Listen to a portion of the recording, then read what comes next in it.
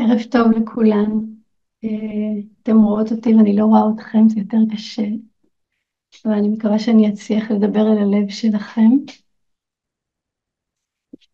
אה, אני רוצה לתת לנו, ננסה לעשות איזושהי אה, טעימה מאיך שאנחנו יכולות להרגיש את עצמנו בתוך יחסים עם בן זוג, עם הבעל.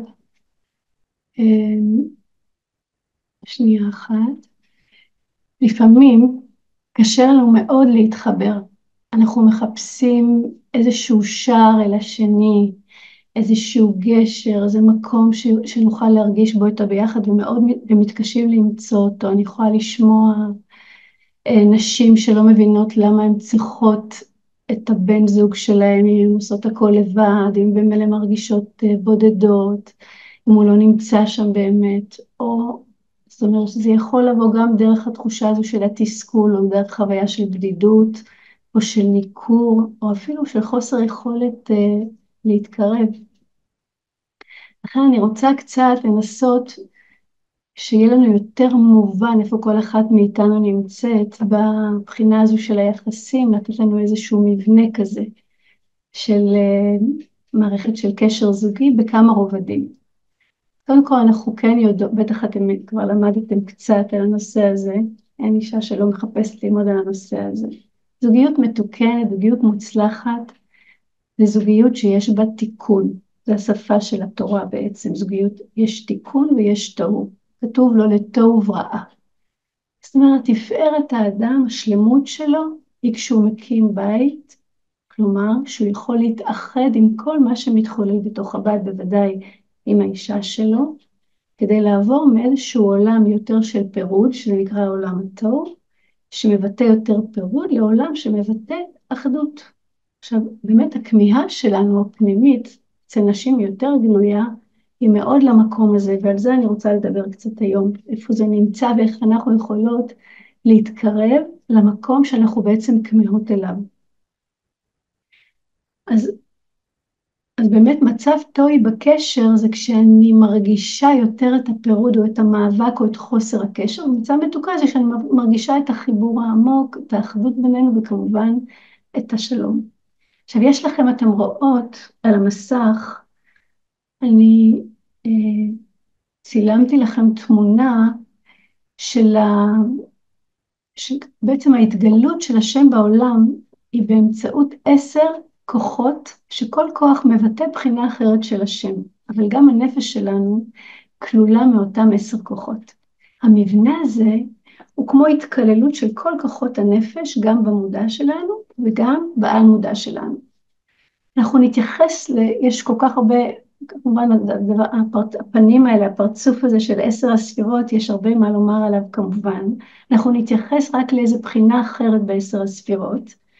אז אני רוצה כדי שאתם תמקמו את עצמכם, אתם רואות במבנה הזה של עשר הספירות, יש שלושה, שלוש עמודות. עמודה ימנית, שהספירות בה זה חוכמה, חסד ונצח, העמודה השמאלית, בינה, גבורה והוד, והעמודה העצמאית, האמצעית. קו אמצעי אתם יכולות לראות, העמודה האמצעית, שאנחנו נקרא לו קו האמצעי, הראשית שלו זה בספירת הכתר, והיא גם יותר גבוהה מכל המבנה. אנחנו יכולות לראות שהכתר הוא מעל כל המבנה, והוא קשור באמת לעל, הוא נמצא, בעצם מבטא, מגלם את העל מודע בנפש של כל אחת מאיתנו. ומה הוא כולל? הוא כולל שלושה שורשים, שלושה כוחות מאוד משמעותיים בנפש שלנו, שהם לא נרגשים, אבל הם מאוד מאוד משפיעים עלינו. ושלושת הראשים האלה זה התענוג, הרצון והאמונה.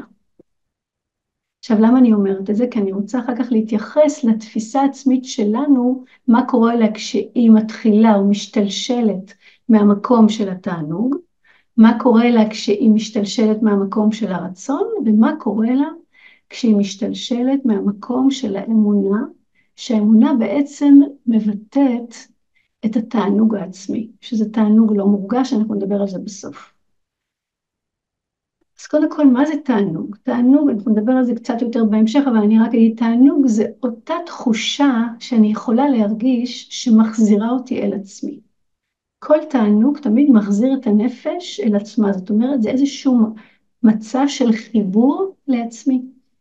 הרצון לעומת זה, זה איזשהו כוח שאיפה שמוציא אותי מעצמי החוצה, נכון? איזו שאיפה למלא חיסרון, הרצון נמצא או נוצר בגלל שאנחנו חווים גם את החיסרון במציאות, אבל גם את החיסרון שלנו. והאמונה היא הנקודת חיבור של הנשמה שלנו עם מה שמעליה, עם האינסוף, שזה מקום שהוא לא גלוי בתודעה, אבל מקום שאנחנו רוצות וכוספות להתחבר אליו. ננסה עכשיו לראות, לתאר את היחסים בין איש ואישה, כפי שהם מתבטאים במבנה הזה של שלושת הקווים. אנחנו נתייחס בספירות כרגע רק לשלושת הקווים, קו העמודה הימנית, העמודה השמאלית והעמודה האמצעית. אז אמרנו, כשאני חווה את עצמי ואת העולם דרך העמודה הימנית, דרך קו ימין, אני בעצם מרגישה את עצמי יותר דרך מה שאני מקבלת, והתחושה העצמית הזאת, בגלל שיש בה תענוג, היא תחושה של חיבור. לכן יש בה תענוג מורגש. תענוג תמיד קשור לסוג של חיבור. זאת אומרת, אני חווה את הטוב, מהמקום הזה אני יכולה גם להשפיע טוב. אני יכולה לאהוב, אני יכולה להעניק, אני יכולה לתת, אני יכולה גם להתקרב אל השני. העמודה השמאלית מבטאת בעצם קו שמאל, התנועה הנפשית שנמשכת מקו שמאל היא תנועה שאמרנו שהיא מתבטאת, השורש שלה זה ברצון, והיא באמת מתחילה ממקום של חוסר. זאת אומרת, תפיסה עצמית שמתחילה מהרגשת החוסר שלי, מה חסר לי, וגם אם היא מתוקנת, אז זה גם החוסר בתוך המציאות עצמה. אמרנו שההתחלה או השורש של הקו הזה, של קו השמאל, הוא ברצון. אתם שמות לב ששני השורשים האלה, או שתי התנועות הנפשיות האלה, הן במובן מסוים הפוכות. יש מקום שמחזיר אותי אל עצמי, והוא קשור לשלמות העצמית שלי, ויש מקום שאני חווה את החוסר ואת מה שאני צריכה, כן? יש עוד תנועה נפשית שמתגלה דרך הקו האמצעי בספירות, ששורשו אמרנו בכתר, ובעצם העומק של הקשר הזוגי מתבטא בגילוי של קו האמצעי. קשר זוגי, כשהוא ממומש באופן אמיתי, הוא מכונה ידיעה. אנחנו יודעים, מופיע לנו בספר בראשית, הפעם הראשונה שהמושג דת בא לידי ביטוי בתורה, זה כשאומרים לנו על אדם וחווה, שהאדם ידע את חווה. הידיעה הזו, הדעת הזאתי, זה איזשהו כוח של שניים להיות אחד. זאת אומרת, דעת זה התחול, המקום הזה שמחבר בין התנועה הנפשית מצד ימין לבין התנועה הנפשית מצד שמאל. לכן הקו האמצעי הוא קו של הזדהות.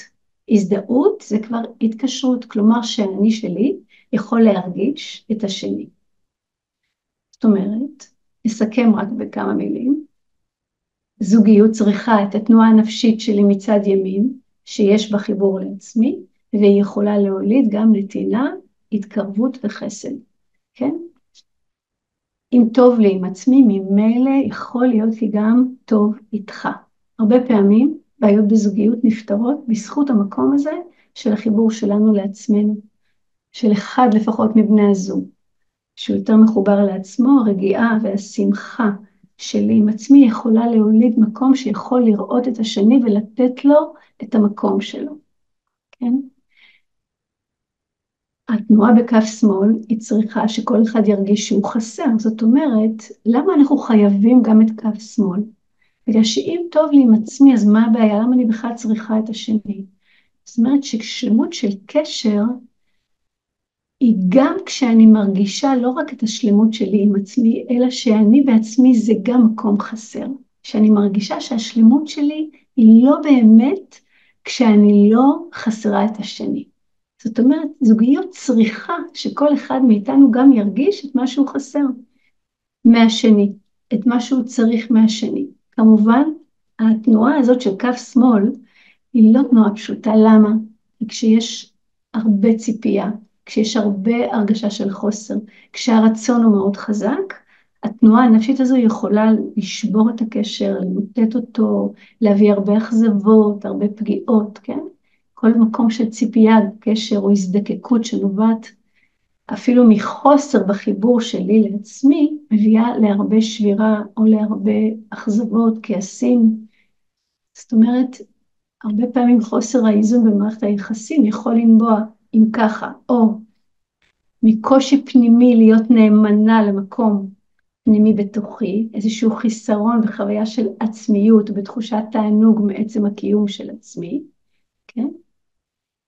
וגם לעתים הקושי נובע מזה שקשה לי מאוד להרגיש שייכות, קשה לי מאוד להרגיש קרבה, קשה לי להיפתח אל השני, אני מוצאת את עצמי יותר הגנתית, יותר מנוכרת, יותר ביקורתית.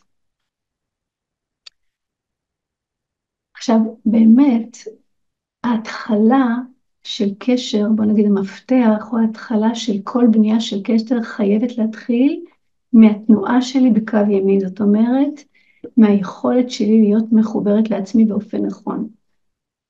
אף אחד לא באמת יכול לאהוב אותי במקומי. גם כשאני באמת, יש לי כמיהה לזה.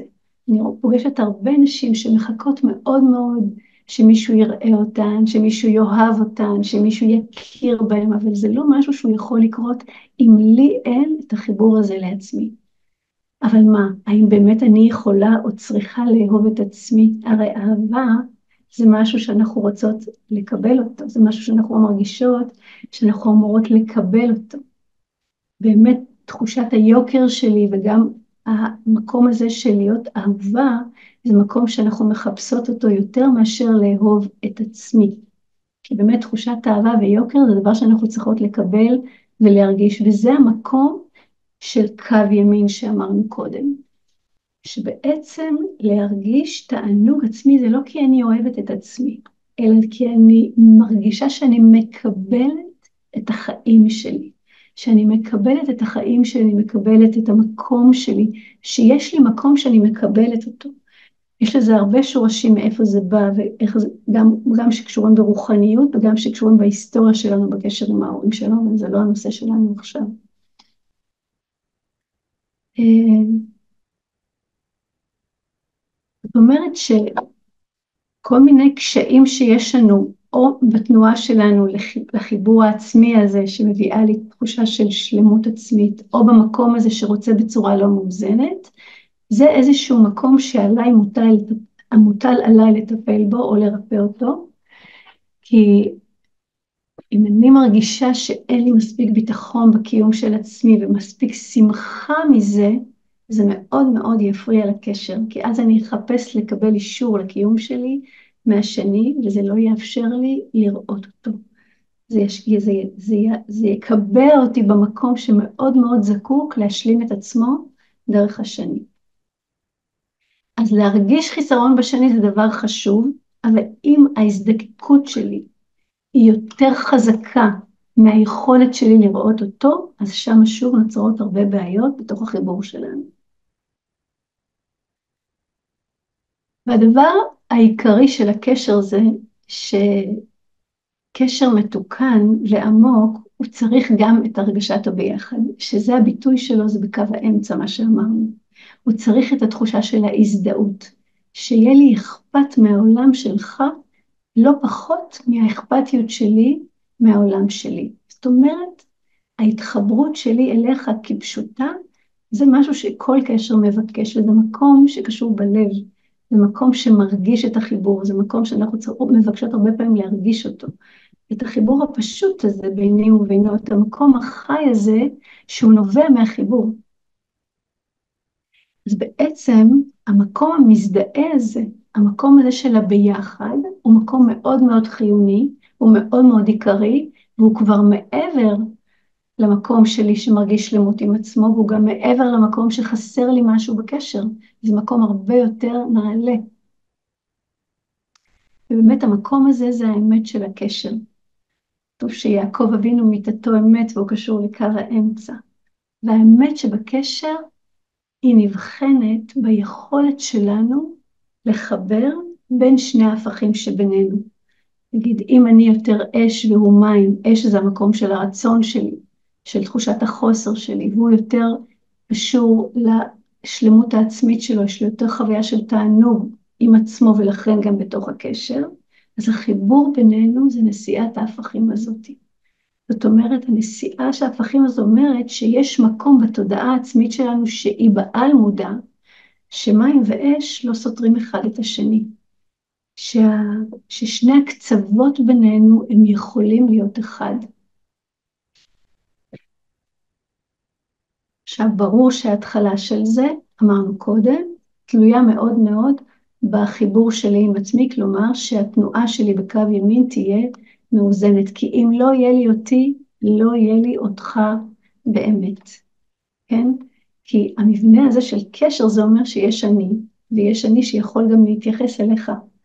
אליך לא רק בהקשר של מה אני צריכה ממך, אלא אליך כמו שאתה, בלי קשר לזה, וזו נקודה מאוד מאוד משמעותית. זאת אומרת, אם אני לא אני, אני לא אוכל להתחבר באמת אליך.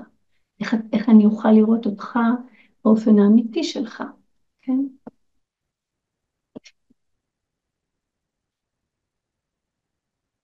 אם באמת חסר לי אה, הקבלה העצמית הזאת שלי, הפשוטה יותר, זה יכול להעצים מאוד מאוד את התנועה הנפשית שלי בקו שמאל, בתנועה השמאלית. למה? כי אני אנסה מאוד להתמלא מחוץ. אני אהיה תלותית יותר, אני כל הזמן ארגיש שהביטחון שלי בא מהשני, או שתחושת הערך שלי, או תחושת היוקר שלי. לפעמים אנחנו יכולות לראות מצב שיש הערצה של יתר כלפי מישהו אחר, שוב, זה גם קשור או הערצה או ריצוי, כן? אבל שניהם קשורים מאוד מאוד בחוסר מאוד גדול שיש לי בשלמות העצמית שלי, שאני רוצה לחוות את עצמי דרך השני, כן? ואז זה שוב יקשה עליי מאוד מאוד להגיע לאיזושהי שלמות בקשר, כי אני לא אוכל לראות אותו בפני עצמו. אני, או שאני מעריצה אותו, או שאני מרצה אותו, או שאני נופלת, כן? אם אני מקבלת, מתאכזבת, אבל אני בכל מקרה יותר עסוקה במה שאני צריכה בתוך, בתוך הקשר הזה.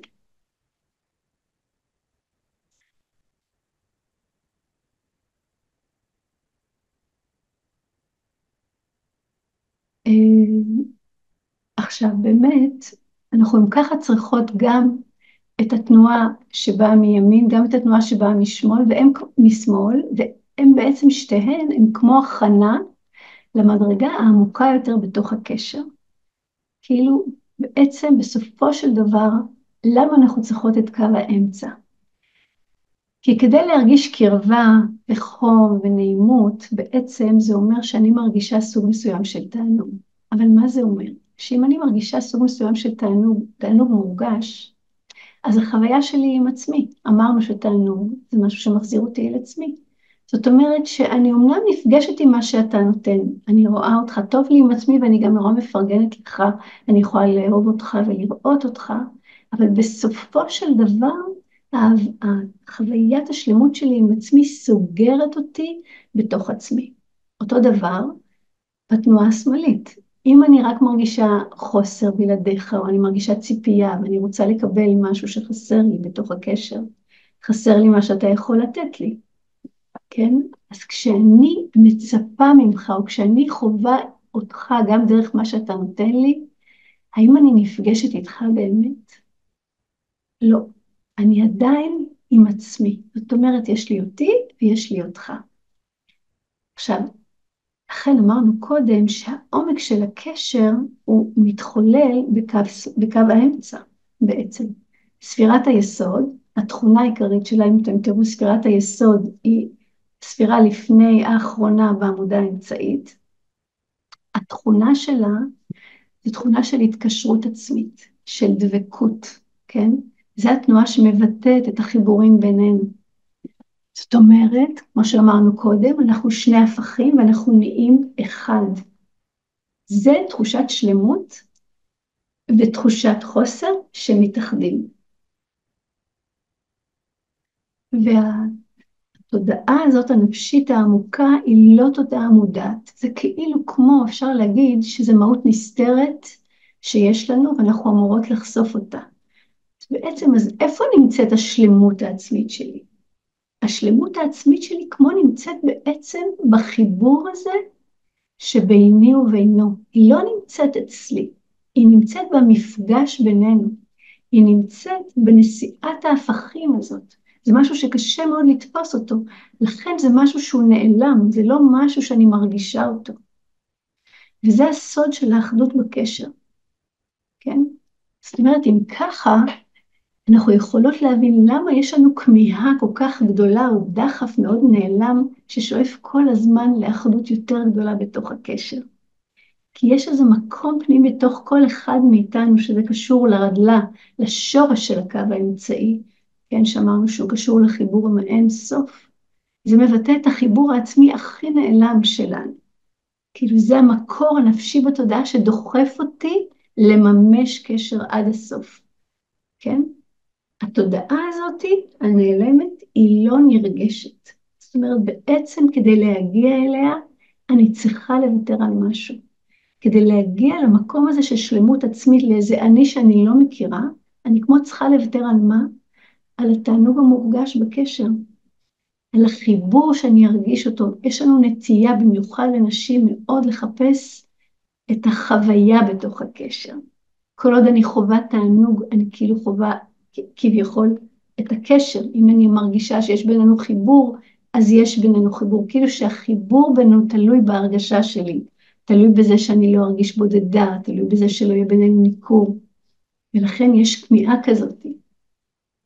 אבל האמת היא שמה שהתורה מספרת לנו, שהחיבור, השלימות של החיבור ביני בין האיש שלי, זה, היא, היא מגלה איזשהו תענוג מעצם הקיום, אבל הוא לא תענוג שאפשר להרגיש אותו.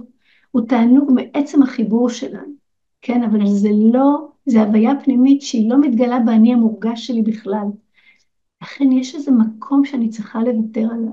אני צריכה לוותר לחפש הוכחות לקשר בינינו דרך מה שאני מרגישה. כי במקום הזה של, של השלמות, ששם אנחנו יכולים להרגיש רק את הביחד בינינו, שם אני מוצאת בעצם אותך. שם כאילו אני מאבדת את הגבולות של האני שלי, אני לא יודעת מה אני מרגישה, והזולת נהיה חלק ממני. כאילו עליתי בתודעה שלי לאיזשהו מקום, ששם אני חווה את עצמי בלי ההגדרה של מי אני, אלא דרך הקשר איתך. ואז הטוב שמתגלה הוא טוב של שנינו, הוא לא רק הטוב שלי. זאת אומרת, בעצם הדחף להתאחד עם השני זה כמו איזו משאלה, לצאת מהגדרות של עצמי שאני מכירה אותן. זה סוג של תענוג או עונג אה, שאני לא יכול להכיר אותו דרך החוויה, אבל הוא כאילו אומר לי שהשני זה אני. זה המקום גם של מסירות נפש, שאני חווה את האחר כחשוב לא פחות ממני. ראינו את זה הרבה במלחמה של השנה. זה כמו מקום שהאני שלי מתפשט כמו יוצא מעצמו לחלוטין ומתרחב אל הזולת, אל השני. שאני מפסיקה להרגיש את עצמי, למה? כי זה לא אני, האמיתי. כי יש מקום אחר בתוכנו, בתודעה שלנו שאני מוצאת בשני את עצמי, אבל לא כי אני מחפשת את הערך העצמי שלי או מחפשת את האהבה העצמית שלי, אלא כפשוטו, שאני מוצאת בשני את עצמי ואז עצמי מתגלה לי, כאילו, אני מתאחדת איתו. אז אה, עכשיו, באמת כשאנחנו מבינות שהקשר עם השני הוא דבר נתון, הוא לא דבר שהוא תלוי, הוא קיים כל הזמן מעצם הברית בינינו, אנחנו יכולות להפסיק לחפש את ההרגשה של החיבור, כן? אני, או, אני, אני, כאילו זה עבודה להיות פחות תלויה ביחס שלו אליי, או בהרגשת הקרבה, בקרבה שלי איתו, כי באמת הקשר בינינו לא תלוי במילוי הצרכים שלי או שלו. ואז כשיותר ברור לי שיש בינינו איזה ברית, יש בינינו איזה חיבור נשמתי שהוא נצחי והוא מתחדש כל הזמן, אני יכולה יותר להתפנות לממש את הקשר הזה בעומק שלו, בהתמסרות שלי לתפקיד שלי כאישה, כעיקר הבית, כראיה, כאחות, ולהאיר את החושך בבית שלי, ואני פחות עסוקה אם אני מרגישה את הקשר או לא מרגישה את הקשר. אני לא יודעת אם יש לנו עוד זמן. אני אגיד עוד משהו אולי, שיכול לעזור לנו גם. לפעמים כשהכל טוב בקשר בינינו, ויש הבנה ויש כבוד, ואני מקבלת פחות או יותר את מה שאני צריכה, כביכול שהטוב מאיר בקשר בינינו, השלמות של הקשר, עומק ההזדהות, היא לא מתגלה. זאת אומרת, אם אני עסוקה בכמה טוב לי איתו, וכמה אני מקבלת מה שאני צריכה, וכמה יש לי כל כך הרבה דברים של טוב, אז אני נשארת תקועה במקום שמתמלא ומחווה את התענוג ממה שהוא מקבל בתוך הקשר. זאת אומרת שיש משהו שהטוב הגלוי בתוך החיבור שלי עם האיש שלי, הוא מכסה על איזה טוב אחר הרבה יותר נעלה, שקשור בעצם החיבור, אבל הוא לא מורגש. לכן הרבה פעמים כשיש לנו קשיים או ניסיונות בתוך הקשר, שם דווקא מתבל, מתגלה משהו הרבה יותר עצמי, שקשור בעצם החיבור בינינו. זה כבר לא קשור להנאה מדבר אחד ומדבר שני, כן? אז אם ככה, אני לא אומרת שצריך לוותר על הטוב הגלוי שיש בקשר, אבל צריך לא להתמקד בו, בגלל שהטוב הגלוי שיש בקשר לא מבטא את עומק הקשר. דווקא לפעמים הקושי או איזושהי הסתרה או איזשהו חושך במצב של יחסים, פותח את התודעה שלנו למקום העמוק הזה יותר. זה כמו להגיד, נכון, אני מקבלת הרבה דברים מהקשר הזה, אבל אני לא רוצה הרי רק את מה שאני מקבלת ממך, אני רוצה אותך. אני לא רוצה את היד שלך או את, את האהבה שלך, אני רוצה אותך. זה הרבה יותר עמוק מאשר לרצות דברים שאני מקבלת ממך. כאילו אפשר להגיד שהקבלה והנתינה זה טפל מאוד למהות. השלמות העצמית בינינו היא קשורה בחיבור בין המהות שלי למהות שלו. אז לכן העיקר צריך להיות בקשר בינינו זה לראות אותך. זה כמו למצוא את האני שלי בך ולהפך.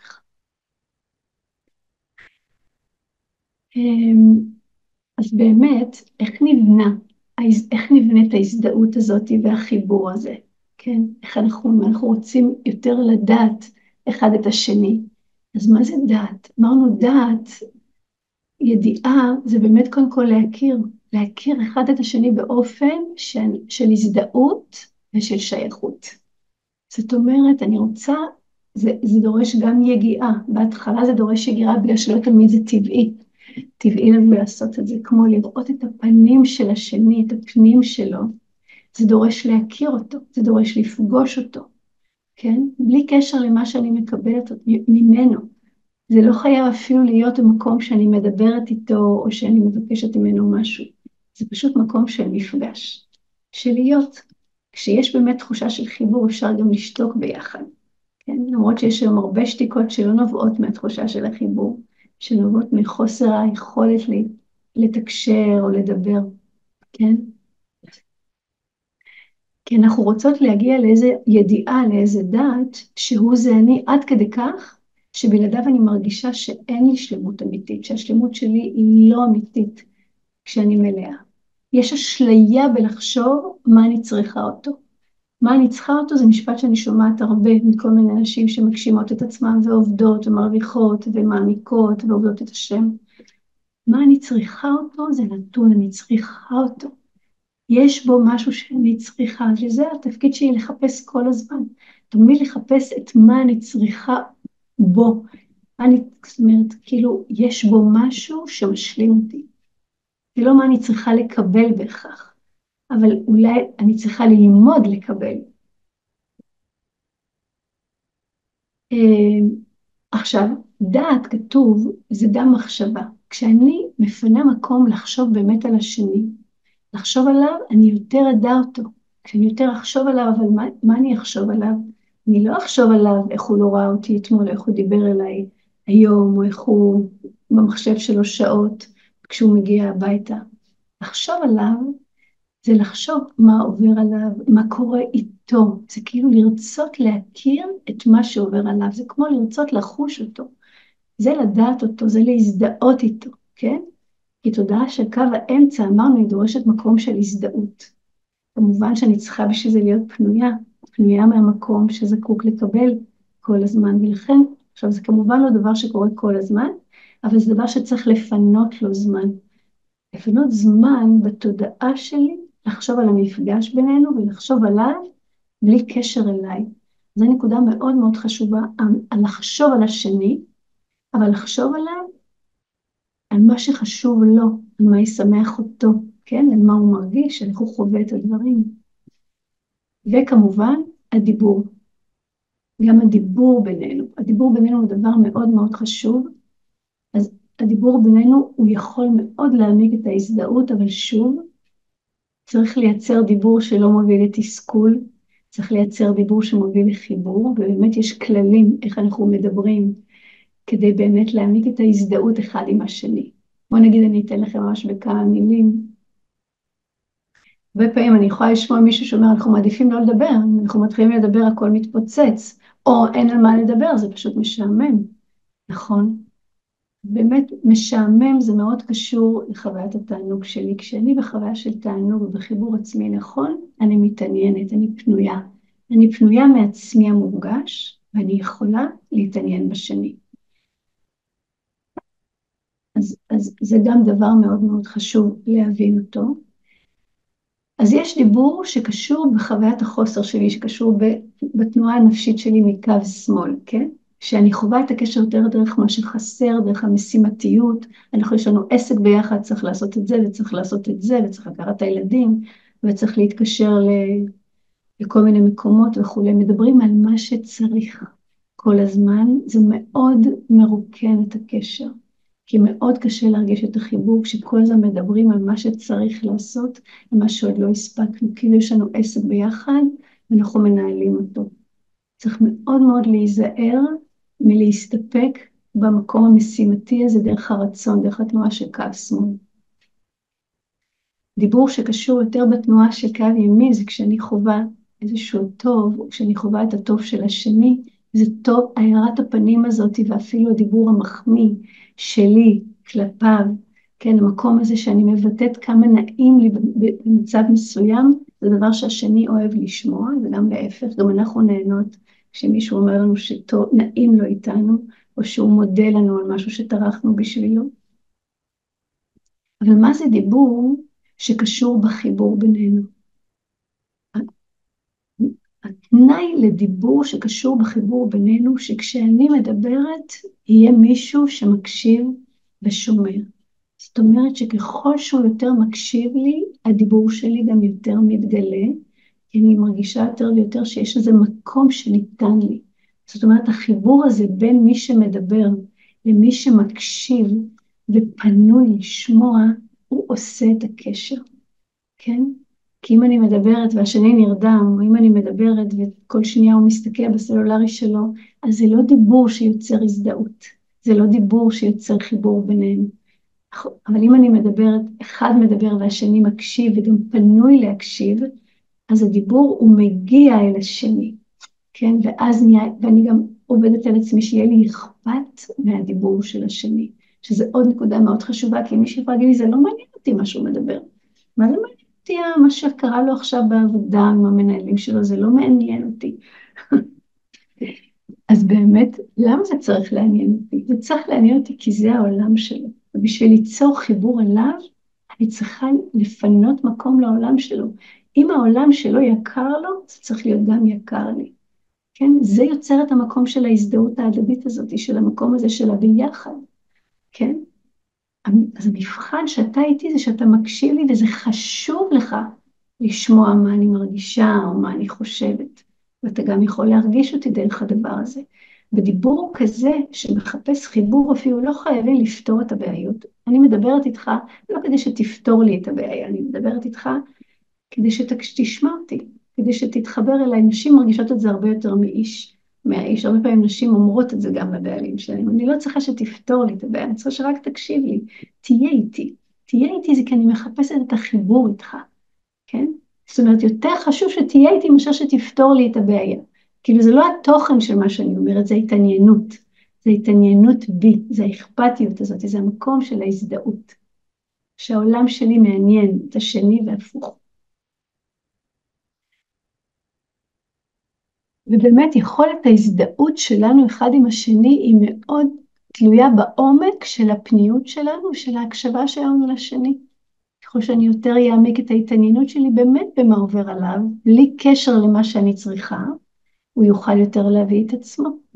אחרת, מה קורה כשאני באמת לא מתעניינת? באמת לא כל כך אכפת לי מה עובר עליו, או אני אפילו לא חושבת על זה מרוב שאני עסוקה בכמה, בכמה קשה לי, ושאני פשוט נסגר, יותר נחסם, כן?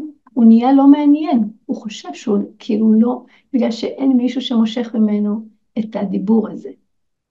אז להקשיב באמת זה להיות איתו, זה להיות פנויה מעצמי.